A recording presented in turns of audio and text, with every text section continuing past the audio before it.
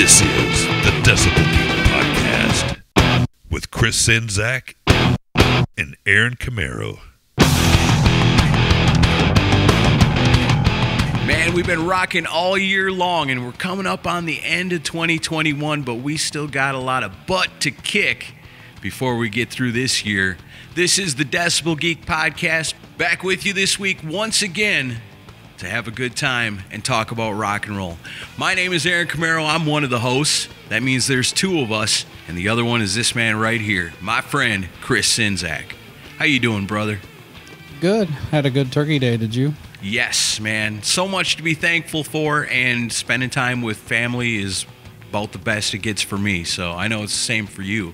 Yeah, it was a it was a great weekend. Uh, had uh, our son and his new wife in town, and loved her, and she uh, met the whole family's approval. I'm sure it was nerve wracking for her, but uh, we had a good time. And uh, the la- last full night they were here, we we all went downtown to dinner, and have haven't been to downtown Nashville in a while, and I remember why now. Yeah, it gets a little crazy down there, but that's awesome, man. That's good to hear that. Yeah, Ace even came over and sat down and had a grateful meal with us. So it was a good Thanksgiving. I hope everybody out there listening to this had an awesome Thanksgiving.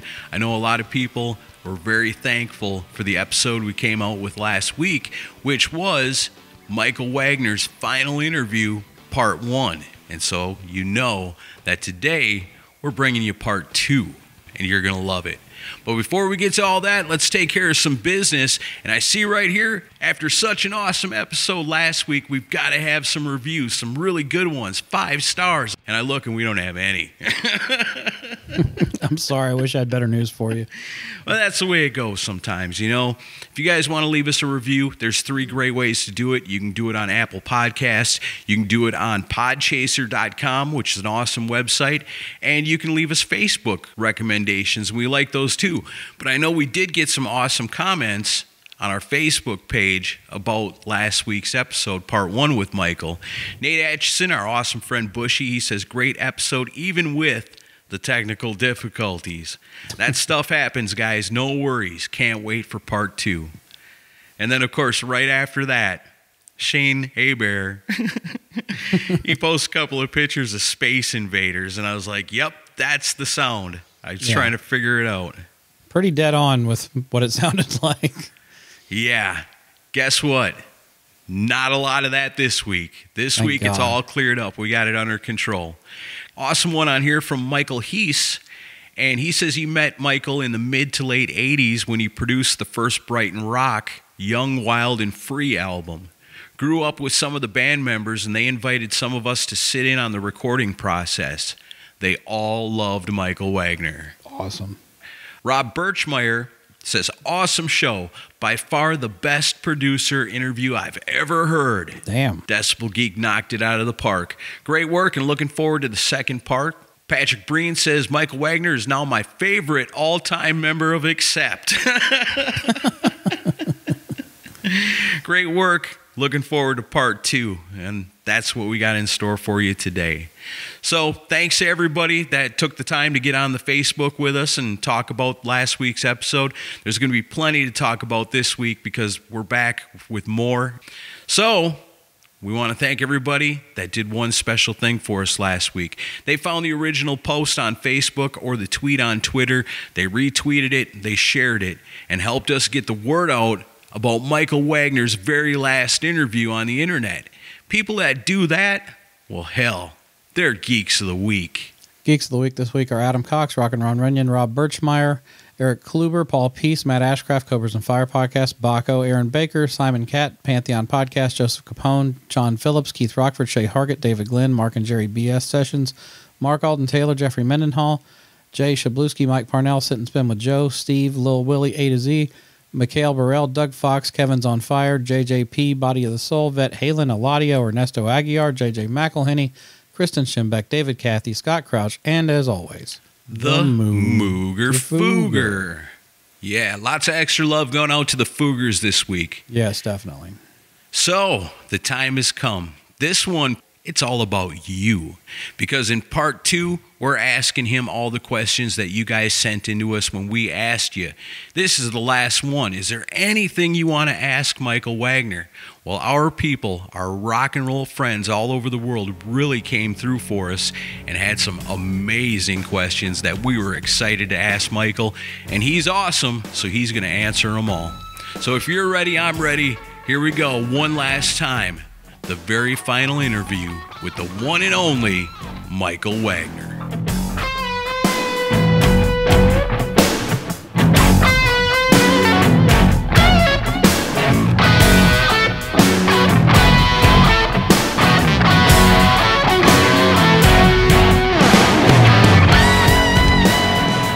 Here's a really good one from David Hudson from Digital Killed the Radio Star. He wants to know what is being said in German on Warrant's Bitter Pill. Um, I have to see if I can get it together, but it's basically saying life is a bitter pill, a bitter pill, a bitter pill. It's, it really doesn't make a lot of sense. Yeah. It's just saying things, Yeah. you know. And and uh, J- Jani wanted me to do something in German, and, and you know.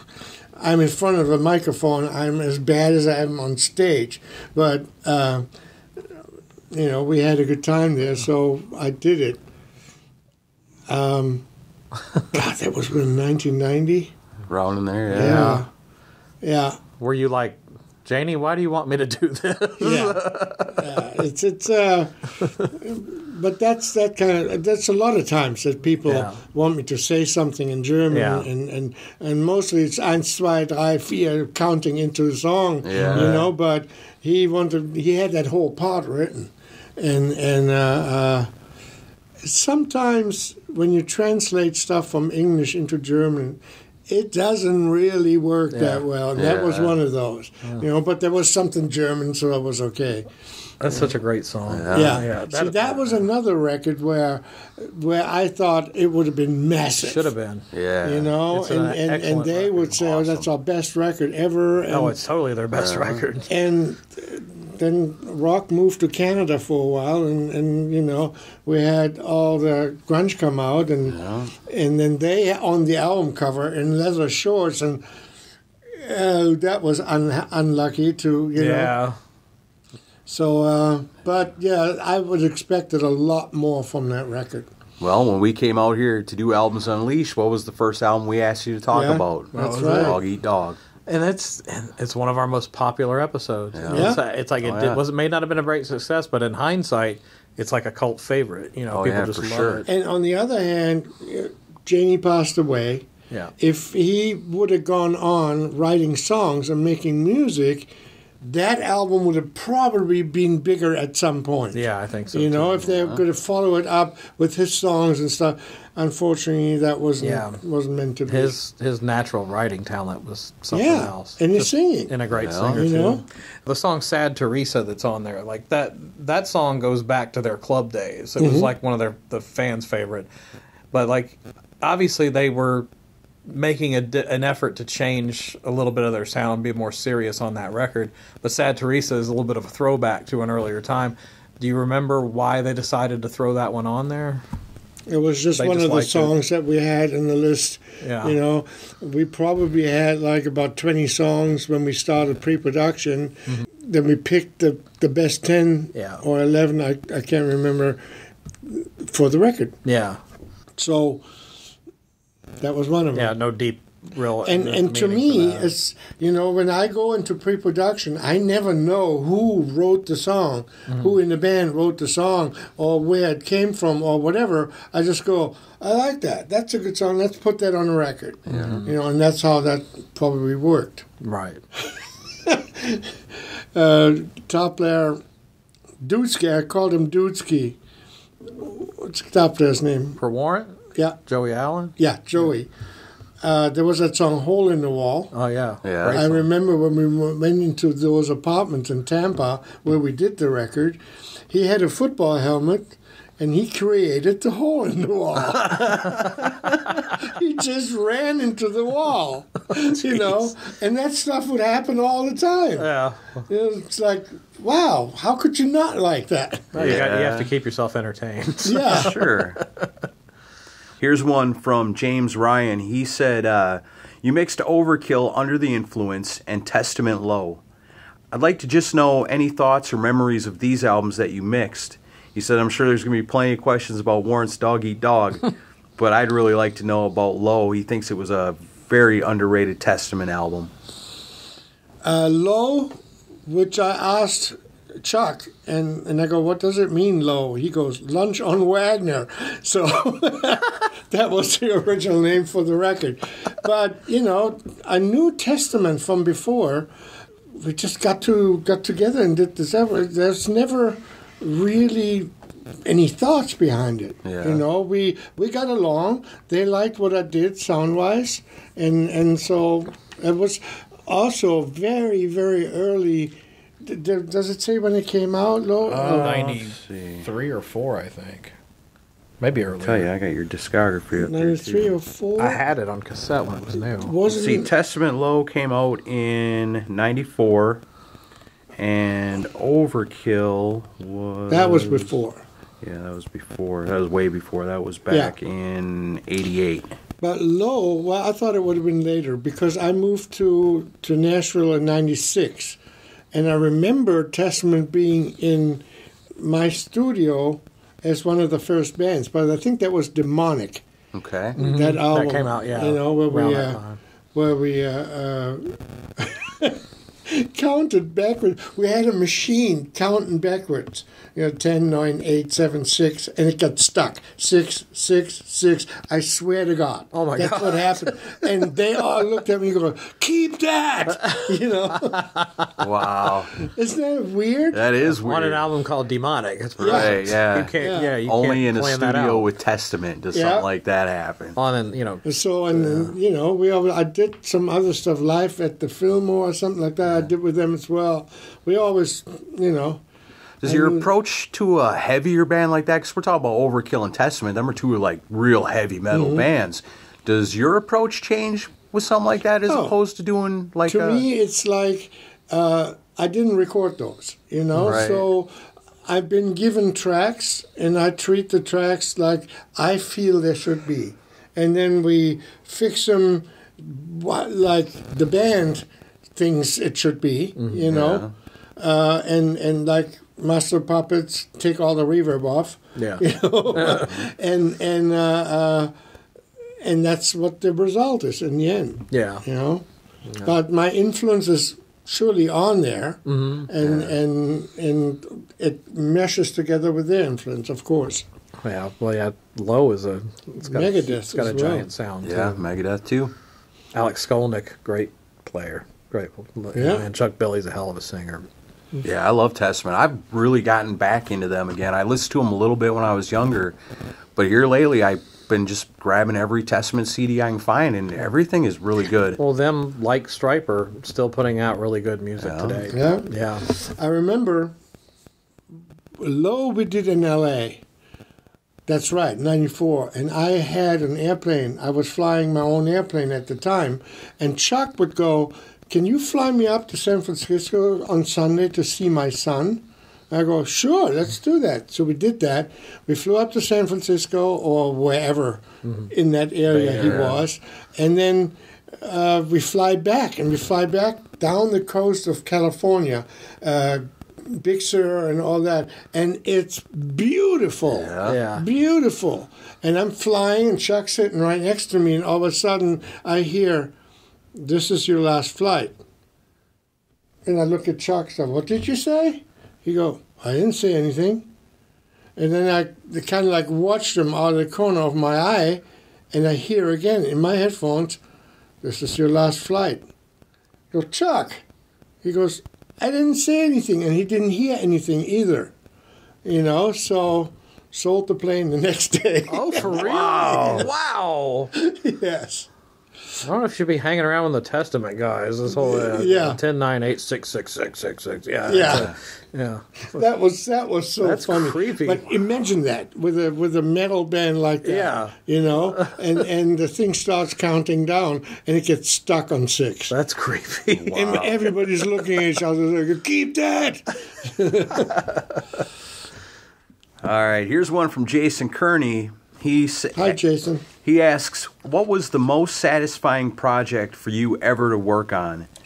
What was one or more projects where you wish you had more time or money budget to work with?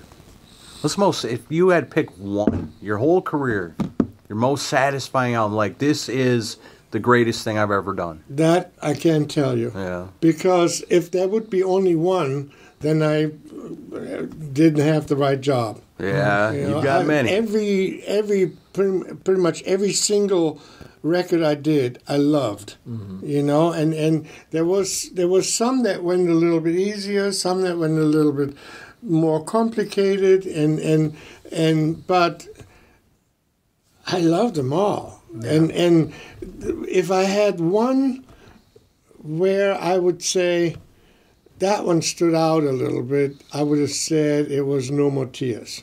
yeah. You know, because Ozzy is such a such a great person and such a character. Yeah. You know, and and he's a character 24 hours a day, and and and he's not acting. He is that character, and and uh, same as Alice Cooper. yeah.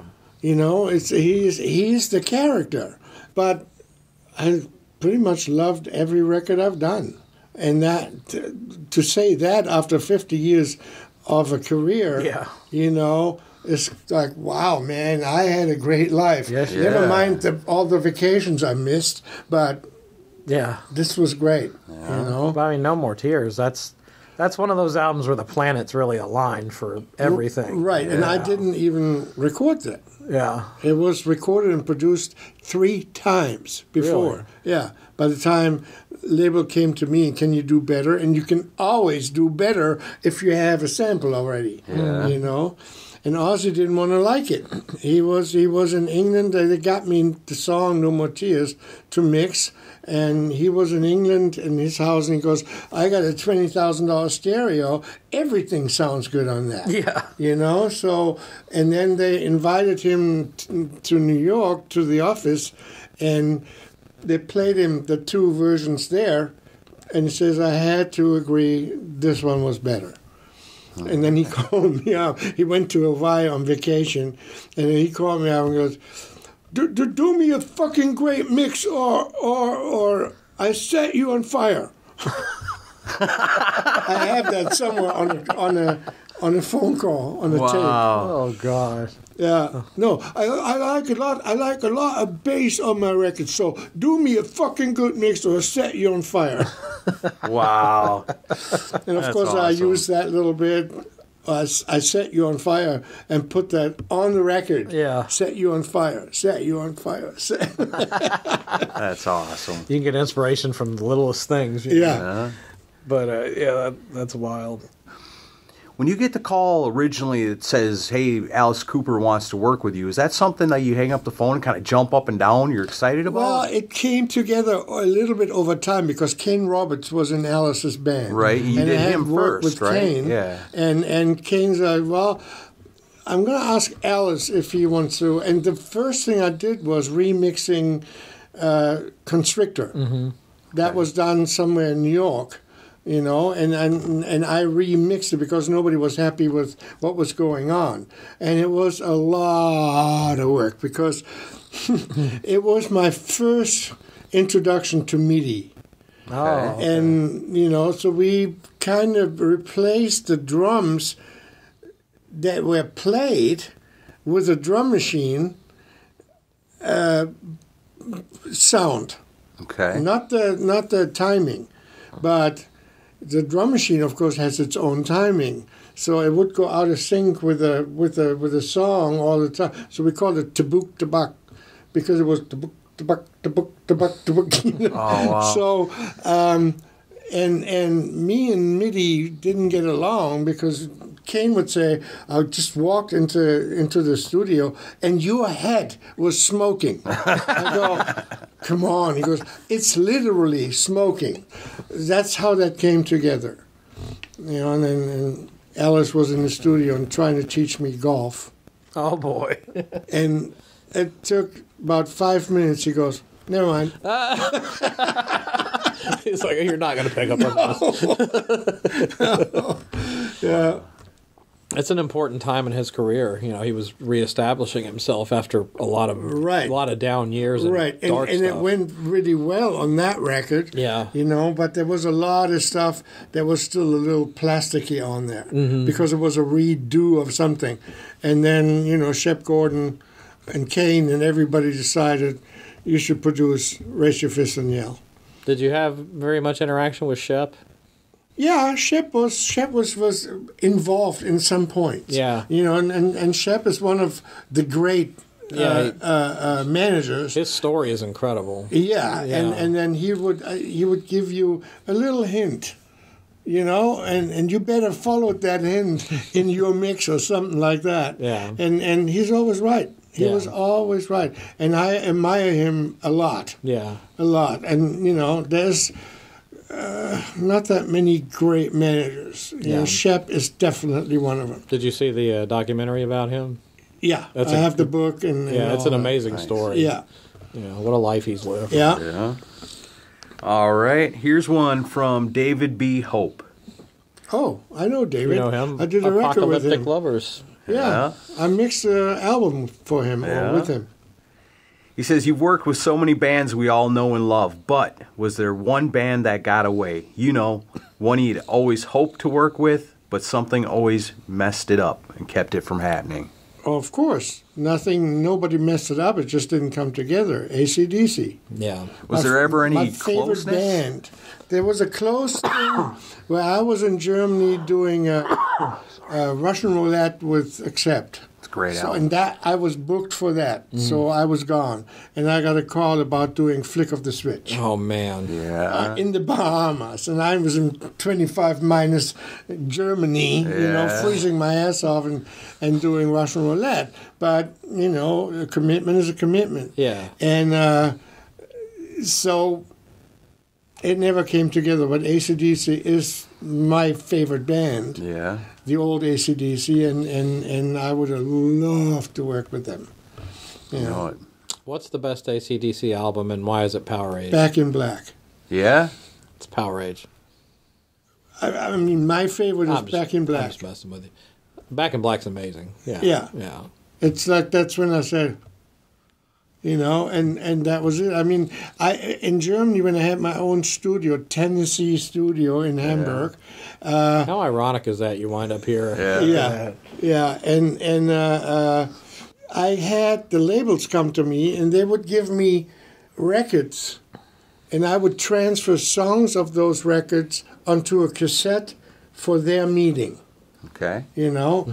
And uh, ACDC, um, the one before Back in Black, Highway to Hell. Highway to Hell, was the first time I heard them in '79, and I go, oh, holy shit, Yeah. you know. And and so I got to hear those songs, those records before they were released Oh wow. you know, and uh, that was just like blowing my mind. And and then they came out with Back in Black after that, and, and it, it floored me. I mean, not not to least that uh, to Mutt Lange, you know, who did an amazing job, Yeah. and and became my idol right away there.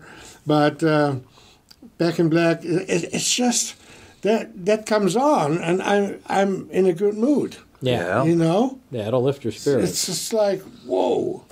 And if I got like new speakers or anything new in here, Back in Black was always what I would try it with. Nice. that cool. and uh, British Steel. Yeah. Yeah. Great album.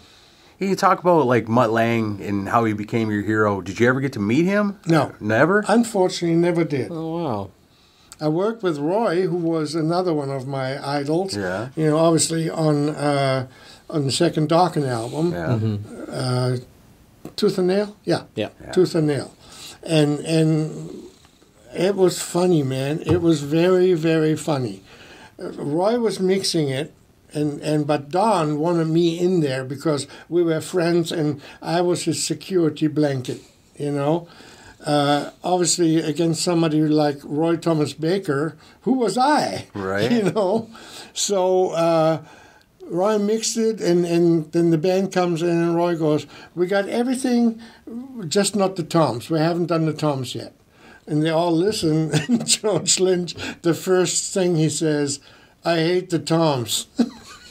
so Roy took all the feet, pulled them all down, you know, and he looks at me and goes, "Whatever you do with those metal bands, just do it with them." That was it. So I got to mix the whole rest of the record you know but i got to learn got to meet roy and and of course my first question on roy was backing vocals queen what you do?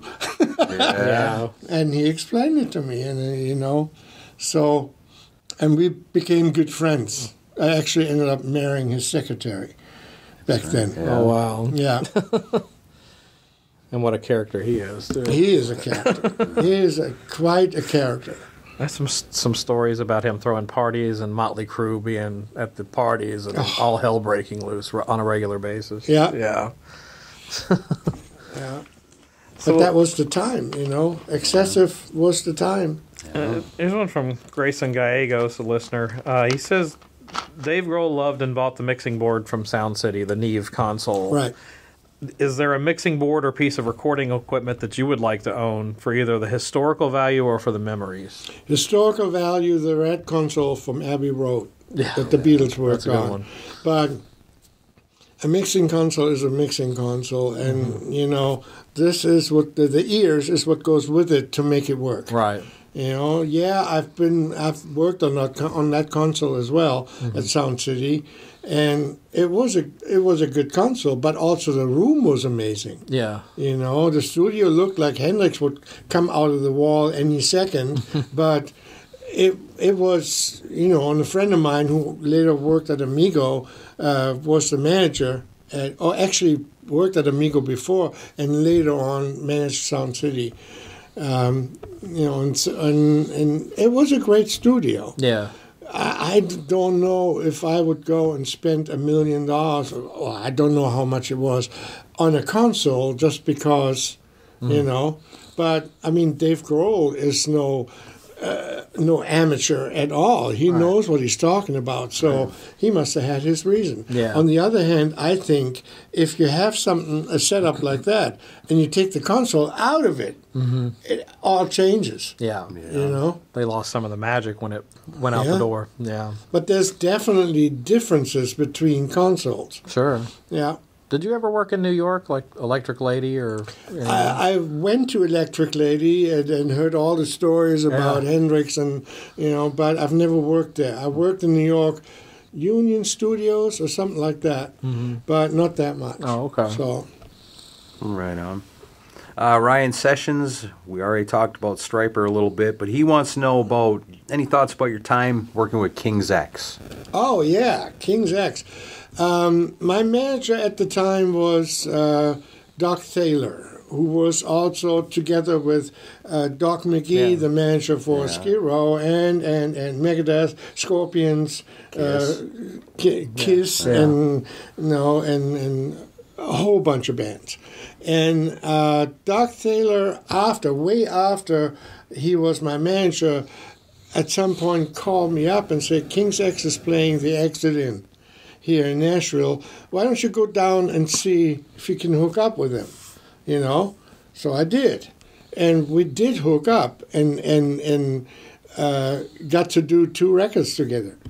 Were you familiar with them before you went and seen them, or was a that little your first? bit, a little okay. bit, but I was not as familiar as to know how amazing that band is. Yeah, Oh, man. You know, really they- amazing. Blew my mind. Yeah. They, they, they would go, okay, we need another song. And he goes, "Ju- just record something two track, you know, on, on, on two tracks. And they're set in their control room with a little drum drum pad Mm-hmm. and, and the bass and the guitar. And they would go through songs. And at the end of this, we had the song. Wow. Unbelievable.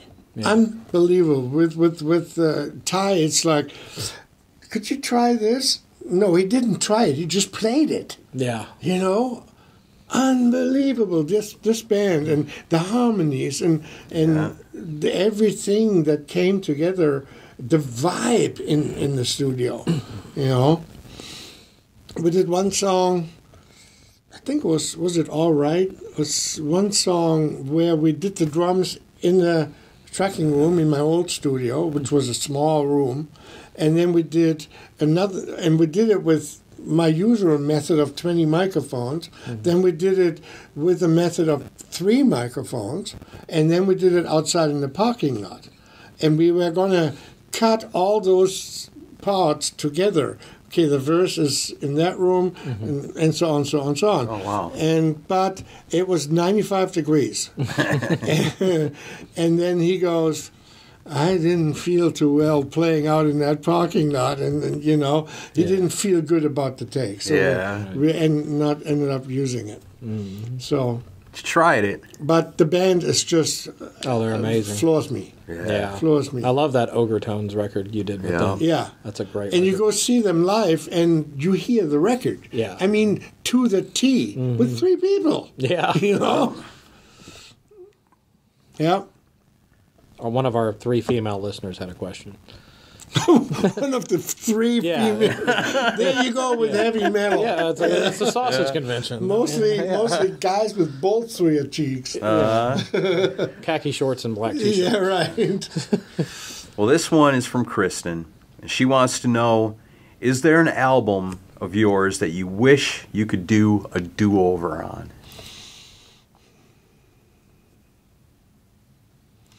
on? I can't think of it. Yeah, that's what I thought. When she asked that question, I thought, what a great question. I bet the answer is no. Because you worked on an album, even though it was expensive to go into a studio back then, so you did a long pre production until everybody knew what they were doing once they got into the studio. I mean, Slave to the Grind, that song was the demo, was the original demo. We recorded and mixed in one hour, you know, and that's on the record. Yeah, Uh, and uh, awesome. so you did pre-production and, and that means you were happy with what everybody was playing and then you would work to the point where everything they played would feel good. Mm-hmm. Yeah, you know and, and even though it was expensive but you had to pay for the whole day so we had 24 hours you know and and more than once we used those 24 hours. Yeah. you know and, and, and recorded and recorded and recorded till we liked it. And so by the end of the record when it was mastered and when it was done you liked it. Yeah. so a do-over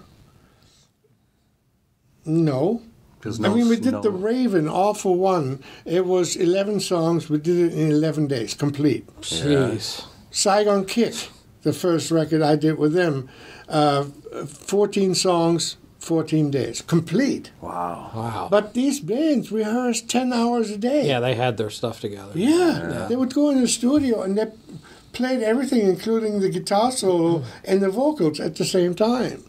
You know, which was rare in, in many cases. Well, So- well, to leapfrog off that question, was that with your mixing, was there ever a time where you were pushed up against a deadline, like the album's got to get turned into the record company, and you didn't feel you were finished mixing? No. They always gave you enough time to, No. do, to do what you wanted to do. Yeah, because mixing, for some reason, it always turned out it's a song a day. You know, I would start uh, in the morning mixing a song. By about six, seven o'clock, it would pretty much be done. I took it home and listened at home on a different stereo uh, to see if the feel was the same, mm-hmm. and then went back the next morning, fixed a couple of little things, and the song was done. Mm-hmm. And that was there was rarely, and not on one of my productions, but sometimes on a production that I got just the files for, that I used more than one song. Mm. And, and in the end, you know, when everything was digital, um, it was more than ones that there was. I mixed two or three songs in one day Yeah. because doing the doing the recordings, uh, you already kind of like get your mix together in the computer. Mm-hmm. And since it kept all that forever, you know, the actual mix was done pretty quickly. Gotcha. And when you do a mix like that, I gotta imagine like once you get one song down, because the rest were all recorded basically the, in the same format. Once you get one down, the rest got to come pretty easy after that, Um, right? That goes for the drums. Okay. You know, when if we did the drums in here, um, you don't change too much in between drum recordings. You change the snare, you put a different snare, you put a different cymbal here and there, you know, but you don't change completely the whole drum sound. So in general, number one, all the instruments are on the same track. Right. So if that's a kick drum track, that's a kick drum track. So and if you get a sound for the kick drum, you know, uh, you also don't necessarily change the sound for the kick drum. If you have a great sound on it, you keep it. Yeah. So that in that you're absolutely right, you know. But the overall drum, like the rooms and stuff on it, that gets changed depending on on the song Okay. you know, and sometimes you use more room to make it a little bit more trashy, you know, and sometimes less to make it more in your face, which I rarely did. and uh, yeah, so, uh, but guitars, for instance, it's always different from song to song. Yeah. Okay, that makes sense. Bass kind of like might stay in the same, you know, especially if you have great bass players like Rachel or Peter Baltes, or, you know, and it's like who have the same age bass, by the way, fifty nine key mm. ah. bass. Yeah. It's like oh, I suppose that gives the songs on the whole album gives them more of a feeling of these belong together then yeah, too. yeah. And Peter played on played on uh, Jax Hollow too. Yeah. Yeah. Did a You know, Great so, job. so we get we got she is like could easily move a little bit into the country direction, which is not allowed in my studio because the, the only country walking in here was under your shoes. Yeah. You know? and and so Jax is kind of tough with her songs, you know, and the meaning of the songs are kind of tough. So I go, I need a tough bass player, Peter. Peter is the guy, Yeah. you know, and then I need an almost punk drummer, which was Angie Yeah. from from uh, Taco Mouth, Yeah. or Det Det, you know, and and uh, uh, that combination was very very lucky. Yeah, Very gave it, a, gave it a unique sound. It Yeah. really Yeah. did. Well, so you mentioned you know no country in here. So uh, one thing I was looking up was you know you did uh, engineer work on the uh, Janet Jackson Black Cat single. Right. Oh, you So- mean the greatest Janet Jackson song of all time? Well, for sure. Which obviously has a big rock sound, and I'm sure that's why you were asked I love to do that. That's exactly why. Because I know Nikki was co-writer on that, right? Or She he- wanted yeah. to cross over into rock, Yeah, and the album was already out, yeah, you know, and then and then they needed a, a, a mix for the single, and for the video, and and so on and so on. Well, did uh, with that experience, did was it a conscious decision to stay in the rock game? Like, were you ever tempted to stretch into like pop or something different? Um, I probably did some borderline pop. Yeah. Right. I I I would have to look it up, but but I just did. I never took a band, except for X, and tried to make it different from what they were. Right. You know that means um, if it was if it was country or uh, rap, I wouldn't do it Right. because I would completely change it. I actually turned down Ronnie James Dio back then because I would have changed too much on his songs. Oh, yeah? So it would have still it would have not been Dio anymore. Oh, And we agreed on that. You know, I was at his house and and we talked about it and we agreed on that. And he goes, "I honor that you do that that way." Oh, that's cool. You know? Yeah. Yeah, that is neat. What album would it have been? Uh, that one with the English kid is a guitar player. Rowan Robertson. I, I don't know his name. Was I can't remember his I name. I think so. That was Lock Up the Lock Wolves. up the wolves. Yeah. Yeah. Yeah, when when when was that? Early '90s. Yeah. Yeah. That's pretty cool to know you're not just going to take a gig just because of the money or something, or you know, Right. say, "Oh, I did a Dio album." Right. If you really didn't feel like, but that's crazy too. I mean, you don't feel like you could have worked together with him to. That seems the, the strange. songs were, in a way, for instance, the drums sounded like they were played by a guitar player. Well, who was a drummer? Oh, for Dio back then? Oh, that would have been uh I don't think Vinny was still in the band then. no. Was it Bobby Rondinelli? That's what I'm thinking. No, that, I No? don't think No? so. It was Ap, Ap, Vinny Appice? I think so. Really? Okay. He might have still been with him then, yeah. Yeah, and and it was like every guitar fill was played on the drums, and and I would have changed all that. The drums would have been straight like accompaniment. Well, that does sound like Vinny. He likes to do a lot of fills. Yeah. Yeah. Yeah. and and and uh, and I talked to Ronnie, and, and and we talked about it, and I said, "Would you like that to be changed?" He goes, "Not really." So. We ended up agreeing on that we should not do it together. That's good. It would have been cool to hear you guys work together. That would have Yeah. been cool too. Yeah, he was a cool guy. yeah. He was a very cool I guy. wish I could have met him. Yeah. Hmm. I got one here from Mark Johansson. This is a pretty interesting question. I've never heard this before. He says Extremes Pornograffiti. Rumor has it that Nuno pretty much had the album covered production wise, but the label insisted that a producer be involved. How much did Michael Wagener actually contribute to Pornograffiti, if at all? In general, that is correct.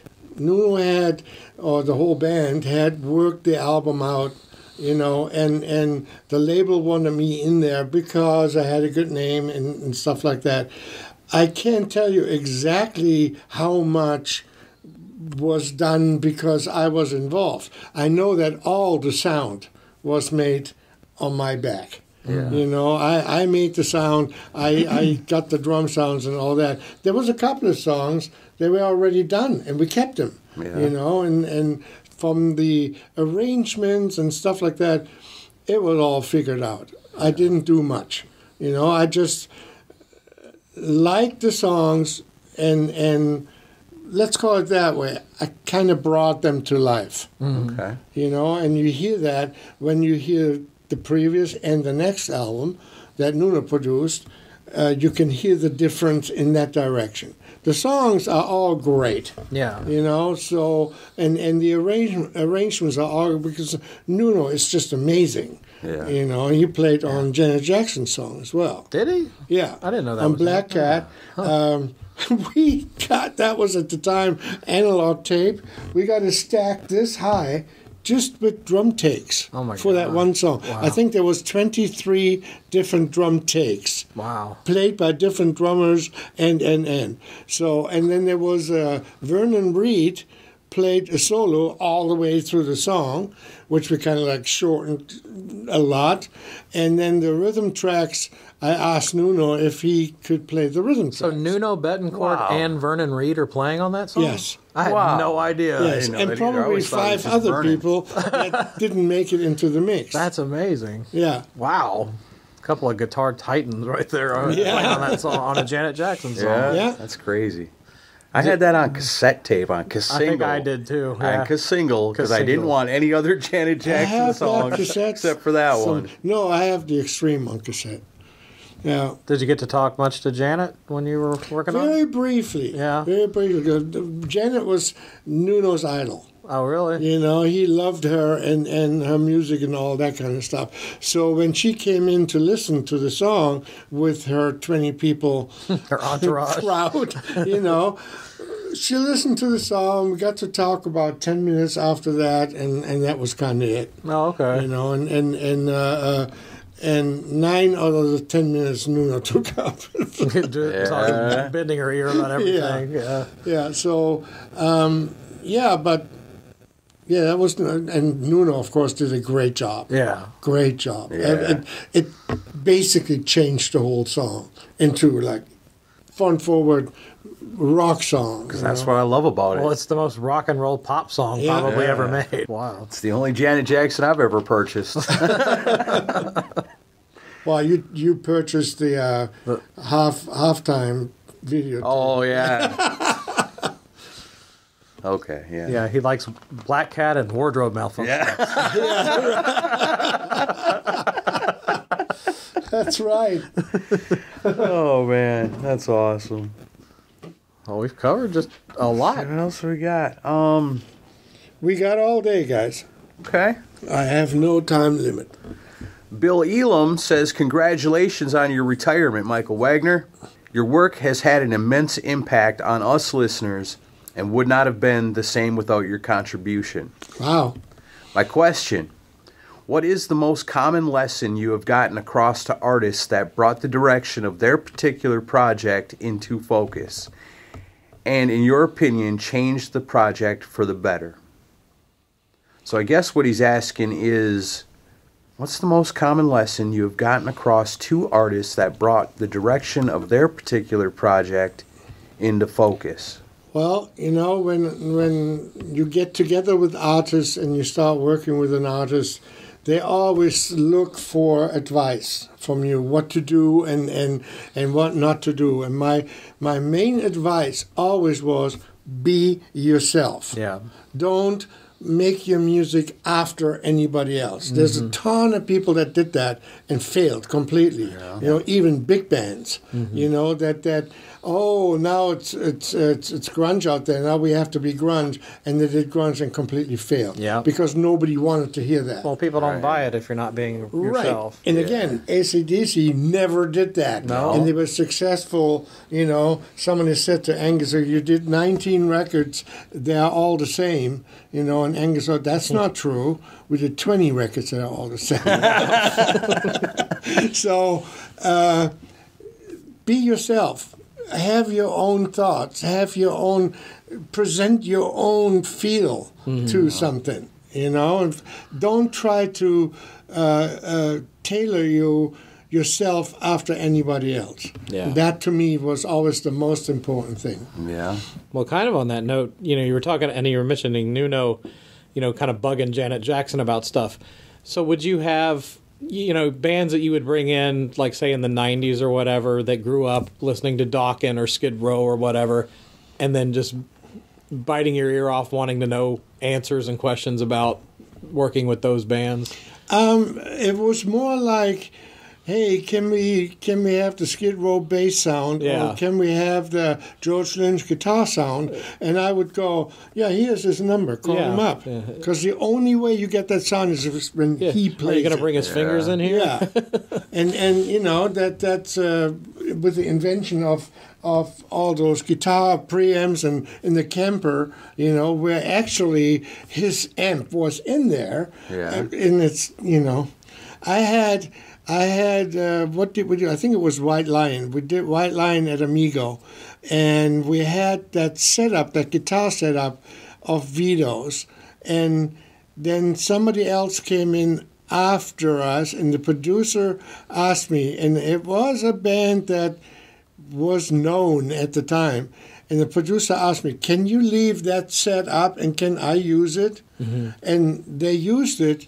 Sounded completely different. Yeah. Completely different. And you know, it's obviously not Vito playing. Right. It's it's it doesn't matter anymore what you use. You know, even though we used that ADA guitar preamp mm-hmm. on Skid Row, White Lion, and Extreme.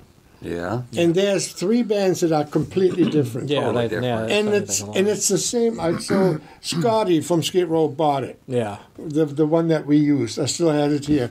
And it was a, s- a setting 45 mm-hmm. that was used on every single band, exactly the same. And they all sound completely different. Yeah. You know, so it doesn't really matter. It's all in the fingers. Mm-hmm. That's like buying the Michael Jordan sneakers and thinking you're going to be able to do all the dunks. Jump eight, jump eight Yeah, feet. he, down. he may wear those and you wear those, but that's where it ends. yeah, right. I'm here with my guitar, Michael. Make me sound like George Lynch. Right. Good luck with that. Right. And of course, you have certain things, certain ways.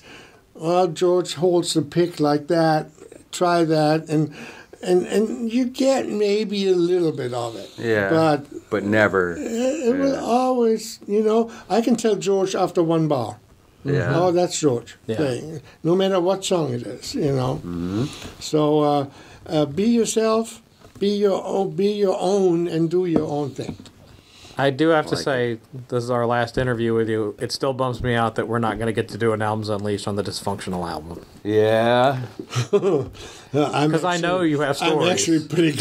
I'm glad about that. I know you are. You turned us down last time we asked you. I mean, do that. yeah, because I, I love that album, but if you look at the history of what's going on with Dokken, I mean, it seemed like they just kind of got back together for I don't even know why, because I don't think they even got along then, did they?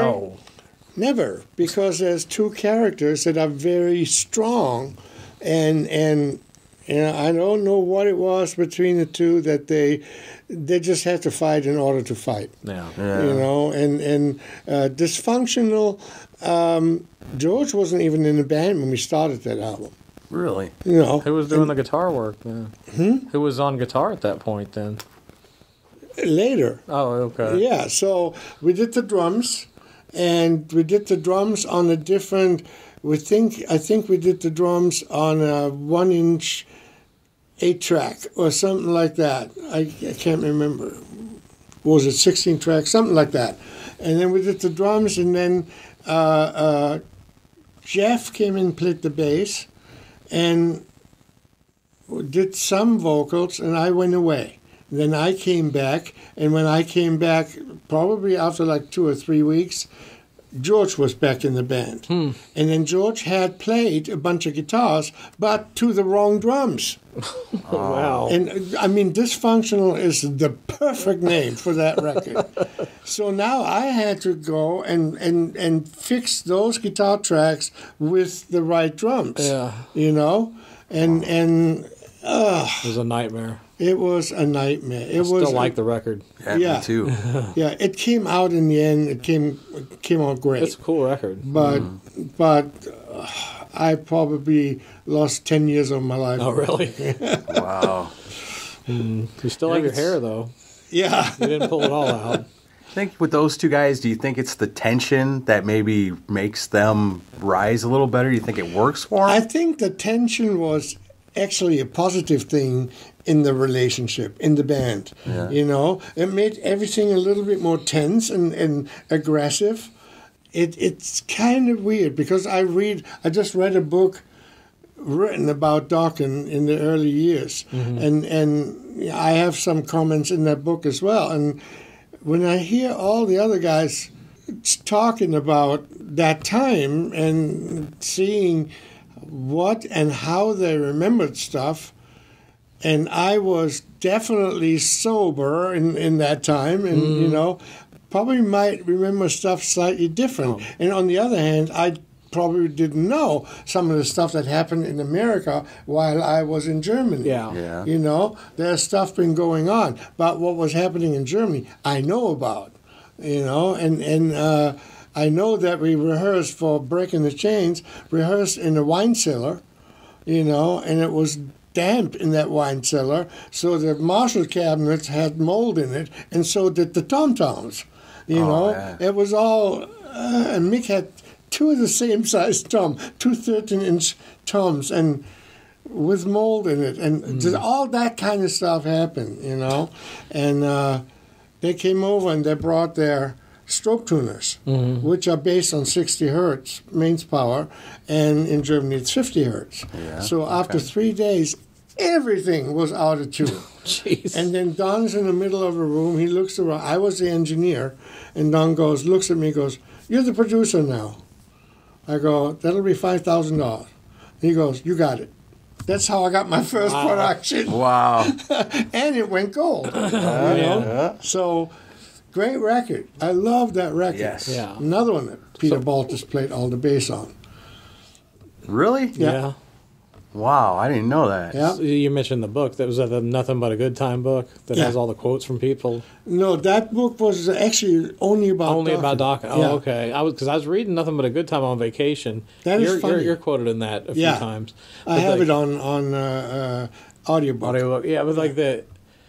But Dokken is one of those bands. It's like they were snake bit from day one. Like there was always tension, always drama.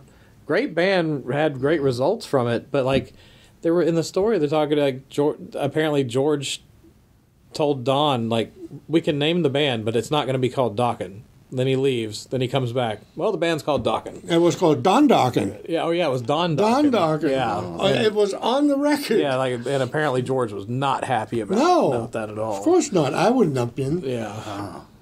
But it's those two. But It's see, kind I of didn't a, know all that. Oh, I'm sure. to me, it was oh, okay, it's talking. but it's like those. It's a miracle those two work together as long as they did. Yeah. I mean, because they're they're like oil and water. Yeah. They're totally different people. Yeah. But I don't know, but you know, and I was always in between. yeah. You know, That's I not a fun place to really be. Really good friends with Don, and I was friends with George. I was friends with everybody in the band. Yeah. And then today, Mick was on Don's side, you know, and then, then Jeff was on George's side, Oh, and tomorrow Jeff was on John, Don's side. It's like, God. so what what's going to be today? Wow. Probably felt like their mother half the time. I mean, for Under Lock and Key, we had a um, co-producer, Neil Kernon, who did Autograph. He did Turn Up the Radio. love that song. There you are, biggest producer Huge- of the world. huge Yeah. You know, and he was the producer. And again, Don said, "I want Michael in there." So I was a co. We were we were co-producers, and we were in rehearsal. And Don, uh, John, uh, George didn't show up for like three days. Shows up on day four, walks into rehearsal, walks straight up to Neil, and goes, "We don't want to sound like Autograph," and walks back out. that was it for the day of rehearsal. Wow. You know, Oh, my it God. was it was like that the whole time.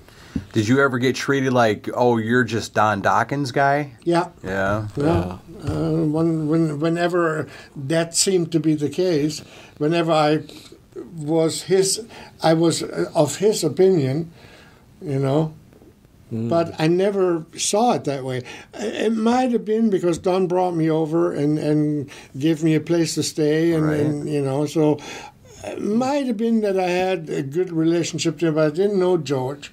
Uh, didn't know Mick and, didn't know Jeff. I mean, when I met met the band, it was Juan Croucier was the bass player. That's right. You know, and Greg Pecka was the drummer.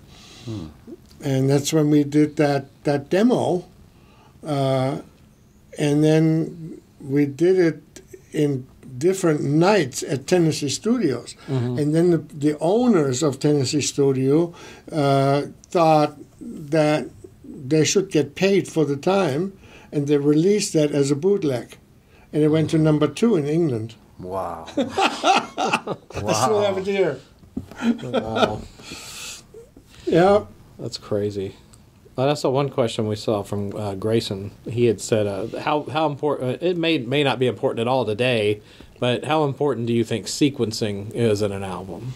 Well, uh, today it doesn't matter Yeah. because you go online and you they pick their best song, put it first. Yep. If you like that song, you listen to the second. If you like that, you listen to the third. But that's kind of like where it ends. Yeah. You know, back then you had to buy a whole album and you listened to a whole album. Yeah. Right. And an album, when you sit there, you actually took time to listen to that album, and that the album took you through a certain mood. You know, and Right. that was that sequencing was important then. Yeah. It was very important. You know, it was always like the the third song was a kind of a ballad. You know, and then it picked heavy or fast song number one. Yeah. Got to come Hit 'em over, over the the head. yeah. yeah, and and then uh, uh, go through the ballad and then pick back up, and then the last song on the on the record was a, a song with a really rememberable chorus. Yeah. So when you went away from it, you still had that song in your head. Yeah. Would you make that call a lot, or did the band? a lot of times I, I worked with them. Sometimes I worked it out. You know, it de- depends on the band. Bands like Skid Row, we decided everything together. Gotcha. Was Doc McGhee very much involved in any? of Yes. that? Yeah. Yeah. He always had a say in some of that stuff. Yeah, stuff. Doc is uh, the other manager Yeah. that I think is unbelievable. Yeah. You know, unbelievable. And, and, and, and Doc is most likely responsible for the success of Skid Row, you know, to a large degree. Oh, yeah. You know? Yeah, he took them a lot of places. Yeah. all the years you've been doing stuff, you've been in all kinds of different situations in your career. Uh, this is something I've asked other people, but have you ever had a situation where you were scared for your life? Like, oh my God, I'm going to die in this studio? There was one German band that you guys don't know where the guitar player, who by now passed away a long time ago, um, was pretty tough guy. You know, and when I say that, that that meant I don't know left or right, which one the the wrong situation is. But he would come in, there would be a gun right on the on the console and a knife, and and the guy was actually really cool. But that external thing, you know, was always like I, I never was afraid for my life. No, I don't think there ever was something like that. Interesting question. Yeah. Yeah. Yeah. You're not gonna ask Well, him if you he has could an Ace be. I Frehley mean, when story. you see some some stuff, you know. I walked in on on the first time I met Alice in the studio. Uh, it was my birthday, and I walked in and there's Alice Cooper, and he's got a knife like that, cutting the cake, and he goes, "You don't give Alice a knife like that." but Alice was the coolest guy. I, I got I got to imagine working with him was always a pleasure. Oh, it was amazing. Yeah. It was amazing. He would get up at four in the morning, drive down to Laguna Beach, play golf, show up at the studio one o'clock, do his vocals till about six, seven, go out and, and rent three C class horror movies, the ones where you can see the strings. Yeah, the really Yeah. bad and which ones. would, uh, would watch all those in that same night, and the next day would be exactly the same. repeat it but he again. always was there to do his work, and, and you know. yeah. But Alice is, is just he's just a character, Yeah. you know. It's just like wow, super smart. So is Ozzy. Yeah. And when you see that show, The Osbournes, you think he's a stupid ass, but he is not. He is super smart. He knows exactly what he wants to do. Yeah. especially musically. Yeah. I think he gets a bit of a bad rap with the whole bumbling Yeah. thing. Oh, yeah. Yeah, uh, for Oh, sure. Twenty million would do. I would do uh, bad rap. Right. you play up your eccentricity a little bit more than normal. Yeah, Yeah. I mean, he yeah, he's a smart guy. Yeah. He knows what he's doing. I will ask. Have you ever met Ace Frehley? No. When I did the uh, Randy Rhoads tribute album, uh, it was meant to be an Ozzy Osbourne tribute, tribute album. Okay. Uh, and I, I called up Ozzy. I told him which songs are on there, and and and I was planning on. Well, I had the band play the whole album, and I was going to replace the drums, replace the guitar, bass, everything with people that had worked with Ozzy. Okay. And he goes, "I'm still alive, I, and and those are people I have worked with. I wouldn't feel right about this, mm. so I can't the whole thing." And then a week later, I get a call from East West Japan, and they say, "Can you do a Randy Rhoads tribute album?" And luckily, all those songs that we had recorded were songs that Randy Rhoads had played on on the Ozzy rec- records. I go, Okay. "Okay." Yeah. So then I think we kept the rhythm guitars they were played by Kane Roberts, Mm-hmm. and then uh, Al Pitrelli. Al Tre- Petrelli. oh, Petrelli, yeah. he was playing He's in one too. version of it, I Yeah. think. So Al Pitrelli played a whole bunch of the rhythm guitars. Wolf Hoffmann played some of the rhythm guitars, and then Kane Roberts played some of the rhythm guitars. And then I had the solos play. I had the tape send out, or people come by and play the solo for that particular song. Okay. We had uh, Sebastian sing a few songs, Mark Slaughter sang a few songs, and then uh, the singer from Impellitteri, Ro- Rob Rock. Yeah, Rob, Yeah, Rob Rob was in Rock, Warrior and too. then uh, Joe Lynn Turner. oh wow, You know, and, and and and Joel was my favorite singer at the great time. singer. And and uh, then I sent them out to have solos done, and we had Lynch do a solo. Kristen Pelletier did a solo, or a couple of solos, and, and a whole bunch of people. And Ace was one of them. Everybody got a certain amount to play the solo. Mm-hmm. Well, that's how it is on a record like Yeah. that. Ace wanted like five times that amount. Ah. I got that amount Yeah. and paid him the money. Uh-huh. And then it took, I think, seven weeks. And then I, all of a sudden, I hear from them. And by now, I had from the Japanese label, if we don't have the, the tapes by Monday, we want our money back. Oh wow, So, and then get from Ace, I get uh, a message on my answering machine saying, "Look, my dad just died. I have to prepare for the Kiss tour. yeah, the farewell. You tour. know, and I cannot do that solo." and and then he sent the money back. He sent the tapes back, and that was it. Well, at least he didn't keep the money. Yeah, I'm glad he sent the money back. but yeah, that was 2000, right, right before the farewell tour, because that's when his pa- his dad passed away. Yeah. Yeah, I remember that. I do remember the the Randy Rhoads tribute album too. Yeah, right here. That one. Yeah, I do remember that. Wow. Goodbye to romance. Goodbye to romance. Roy Z That would have been That's a so good- cool. ended up being the guy. The tapes were already in in L.A., so Roy Z did it for me. Saved my ass. Here's one from another one from Grayson. He submitted a lot of questions for you. Uh, with the popularity of DIY home recording, do you think that the lack of a producer is why there's so many lackluster artists and bands these days? Partly, Yeah. partly. But the producer is the the sixth ear or the outside ear that is not a member of the band that grew with all the songs. So you have a whole different view sometimes, you know, and and and uh, sometimes even the decision on which songs should go on the album uh, up to the producer and and you know might be a different one than the band would make. Right. So and and uh, that outside opinion and that outside influence, I think, is a good thing. Yeah. I'd say so too. You know, that way you're not just coming in with this is what we got, this is what we're doing, that's it. And there's nothing No else to that's going to give you an opinion on it unless Yeah. it's on the street. Right? Well, yeah, because By then it's too late. cause you're not em- emotionally tied to it like they No. are. Yeah. You can No, view it. and. I'm not tied to who wrote the song. Right. You know, that's why I never wanted to know that. You know, uh, it comes from the band, fine, and that that's enough. I, I need to know. So yeah, I think uh, producer's influence can be very good. Yeah. It can also be bad. Yeah. You know, if the producer is not on one line with with the band, actually. Yeah, I suppose it can go either way. Yeah.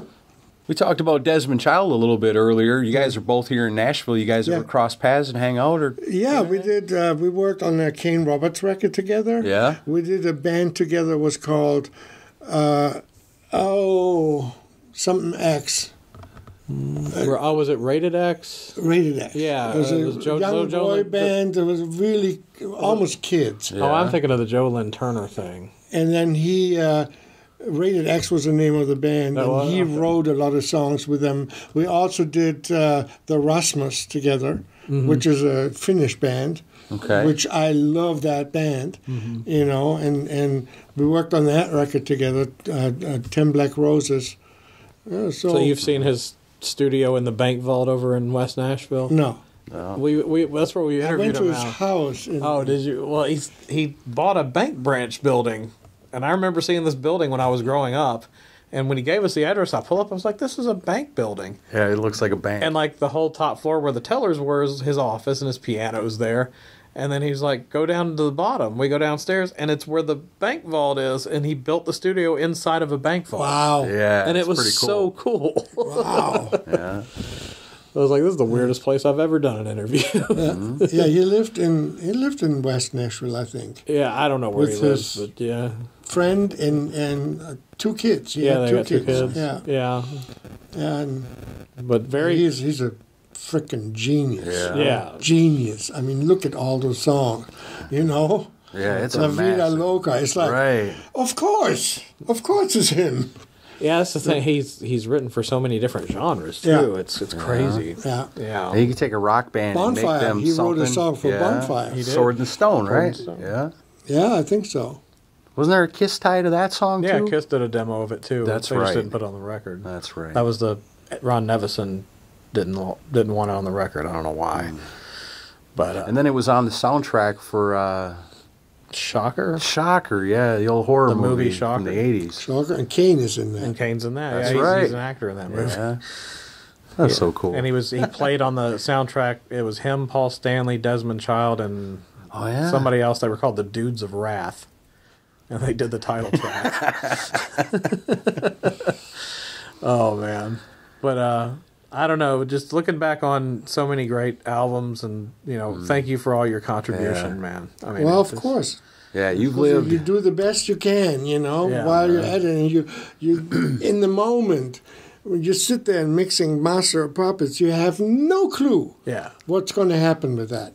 You know, and it could go up and it could go down. This one went way up. Yeah. You know, it was fun. I went over there to Belgium. They invited me over to Belgium when, when they did the re-release of Master Puppets, that box set. Yeah. Mm-hmm. You know, and everybody that was involved with the. They did that before a few times when they got nominated. You know, but then I never had time. But there, I could fly over there, and and and uh, uh, everybody got together. Yeah. and, and it was it was really cool and it was weird after all those years. There's those kids, kids with like pimples, and, and we're in the studio, and you know, and then you don't see them again, and they're multi, multi, multi millionaires. Yeah. you know. Biggest band in the know. world. Yeah, Yeah, to this day, I'd yeah, say. unbelievable. Cool. Well, and that the one thing I appreciate about Metallica is that they really respect everyone that helped them get where they are, and they, they seems like they do a great job celebrating their history. No, that's cool that they would bring you out for something like that, which sounds like a family reunion for an album. It did. Yeah. It did. It was basically.